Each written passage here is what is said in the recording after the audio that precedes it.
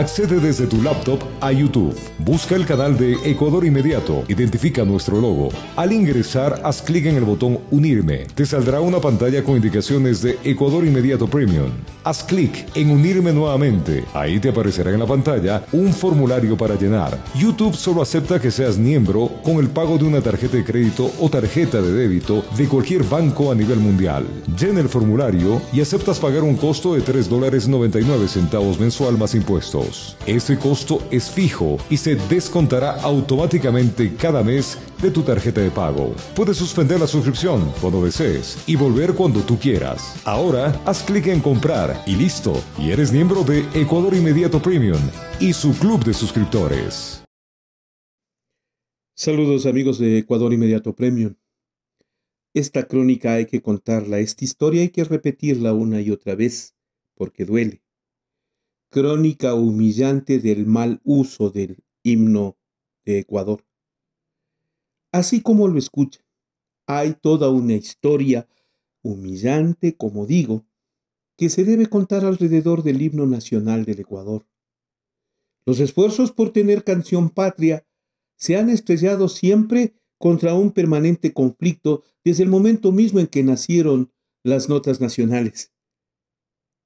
Fue Olmedo el primero en diseñar un himno, que nunca le quisieron poner música después de la independencia de Ecuador, porque elogiaba a Quito. Transcurridos los años, García Moreno fue el de la idea de exigir un canto nacional, y el Congreso de ese entonces pidió a su secretario, Juan León Mera, a que redacte una propuesta de himno nacional. Y el poeta lo hizo. No fue en una noche como han querido desmerecer. Todo lo contrario. Desde 1866 hasta 1870, en que, junto con la música de Antonio Neumann, se puso en boga un himno de seis estrofas.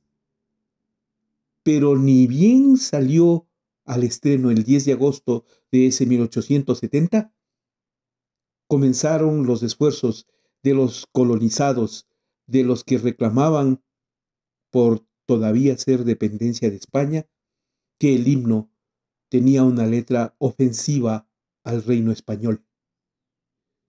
Y sí, le exigían a Juan de Omera que cambie la letra del himno nacional, pero el hombre se mantuvo en lo suyo y les dijo claramente, a los que me piden que cambie la letra del himno, les digo que el himno no es una letra de cambio, en sugerencia a los mercantilistas que todo lo ven con dinero. Pero lamentablemente cedimos a las presiones de España y somos el único himno en el mundo al cual otro país le impide cantar sus estrofas por reclamo, por considerar ofensivo lo que para el poeta autor del himno era un exaltar de la independencia y las luchas gloriosas por hacer el Ecuador. Concretamente, la primera estrofa es la que generó un conflicto con España y nos la prohibieron. El Ecuador tiene un himno prohibido por España. ¿Qué decía esa primera estrofa? Que hoy no se canta. Indignados tus hijos del yugo, que te impuso la ibérica audacia de la injusta y horrenda desgracia que pesaba fatal sobre ti.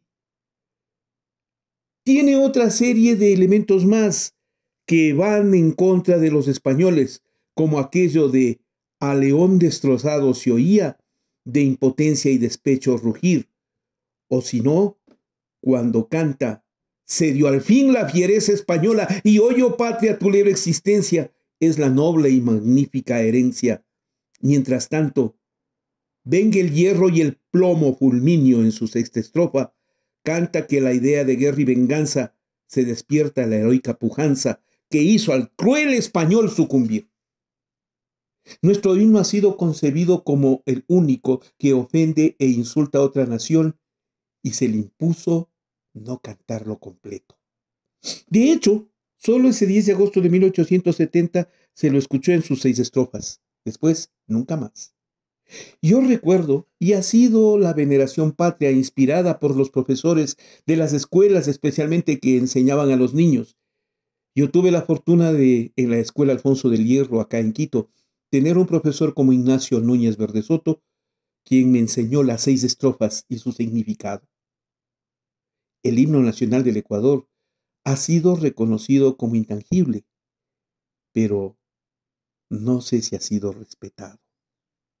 Tanto que allá cuenta en 1967 el escritor Jorge Enrique Adum en su libro Señales de Identidad del Ecuador que el director de la Orquesta Sinfónica en una velada de gala en el Teatro Sucre, justo cuando gobernaba Otto Arosemena Gómez, se le ocurrió corregir una nota que estaba desentonada de la letra y música que se había oficializado del himno nacional de Ecuador.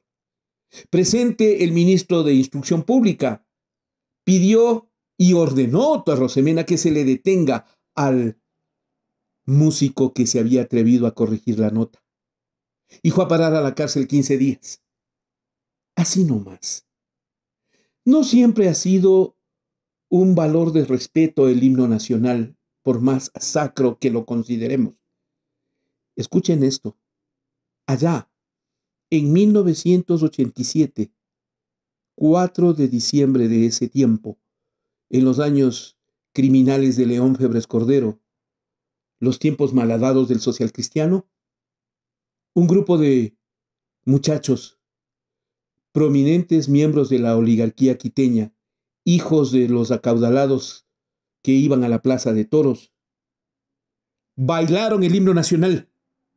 Bailaron y en medio de alcohol y droga, después de haber bailado la canción nacional, ante la burla de los demás, les mearon a los espectadores que reclamaban por semejante atropello. Qué ingrata, ¿verdad? La noticia. Eso era la puerta nueve, ¿se acuerdan? No hubo sanción para los infames que bailaron el himno nacional. De hecho, el irrespeto a los símbolos patrios nos han enfrentado a situaciones enojosas, como aquella del 2006, cuando junto con el periodista Cristian Salas y quien les habla como Ecuador inmediato, reclamamos a un abusivo DirecTV, empresa comercial que puso su logo en medio de una bandera ecuatoriana gigante. Y les obligamos a quitar ese trapo indigno. Y les pedimos que nos devuelvan nuestra bandera nacional. DirecTV tuvo que pedir disculpas. Más grave es aún, si es que quieren, el espectáculo que vemos en estos tiempos cuando a los futbolistas ecuatorianos que dicen que nos representan como selección nacional, les vemos que tienen serias dificultades para cantar el himno del Ecuador. No pueden entonarlo correctamente. Eso es falta de educación sin duda, pero no es precisamente que los pateadores de pelota sean los mejores representantes ecuatorianos, y menos cuando ni siquiera pueden cantar el himno nacional. La crítica es dura y la hemos hecho durante varias ocasiones en que hemos soportado con vergüenza ese espectáculo penoso. Lo digo porque lo hicimos en un programa en Ecuador Inmediato junto con Esteban Ávila en la Radio Redonda. Reclamemos por el himno, claro que sí, en su momento. La mayoría de veces el Ecuador se ha callado frente al tema. Dicen que quien aguanta una humillación las aguanta todas, ¿no? Por eso es que ahora el incidente que enfrentamos es más bien resultado de la inconsecuencia de quienes son autoridades como de quienes usan el himno nacional de mala manera. La periodista Alondra Santiago no midió las consecuencias de su acto de tomar el himno nacional en sus partes para convertirlas en una crítica contra el gobierno del actual presidente Daniel Novoa. Digo, no dimensionó que lo hacía en medio de un debate de odio político que se vive en el Ecuador, de correístas frente a anticorreístas y viceversa. provocó un incidente de proporciones. Le fragmentó al Ecuador y, por cierto, ese gesto de Alondra Santiago sacó en algunos casos lo peor de los ecuatorianos, los xenófobos, los racistas, los exclusionistas, los misógenos, ofendiendo ideologías y pensamiento propio. Pero cuando el incidente pasaba, al gobierno de Daniel Novoa no se le ocurrió peor circunstancia que la de pedir el retiro de la visa a Alondra Santiago, aduciendo la violación de la seguridad nacional y la supuesta revelación de un secreto de Estado. Nadie creyó aquello. Vean el reflejo del debate en las redes sociales y se encontrarán con que todos acusan a que fue por ese mal uso del himno nacional, según ellos, lo que ha motivado que Daniel Novoa disponga el retiro de la visa.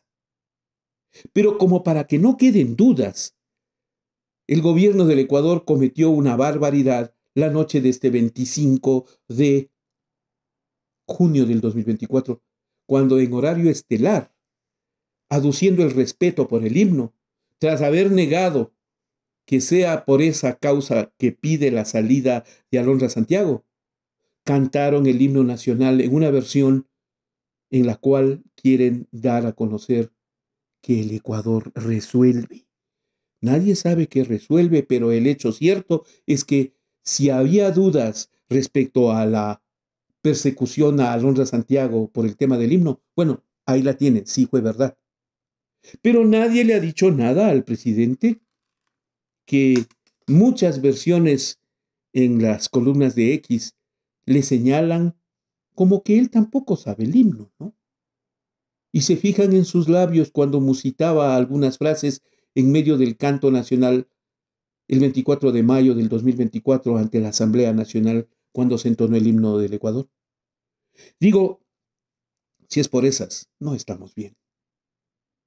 No me gusta esta crónica, créame, me parece muy difícil. Sin embargo, asuman como que es un reclamo a la cordura, al hecho cierto de que hay que remover la historia para encontrarnos con estas escenas humillantes que nos cuestan aceptar si ha habido violación de la majestad de nuestro himno nacional, la hemos permitido entre todos. Ahí es cuando los reclamos saben a destiempo. Siempre les diré que nos merecemos un mejor país. Siempre. Ahí lo tenemos. Gracias por haberse afiliado a Ecuador Inmediato Premium. Por ellos nos permitimos ahora y la importancia del tema difundir este editorial en conjunto con nuestros amigos de Ecuador Inmediato. Deme su like, deme su clic en gracias, aporte al crowdfunding de Ecuador Inmediato y permítanos seguir contando la historia.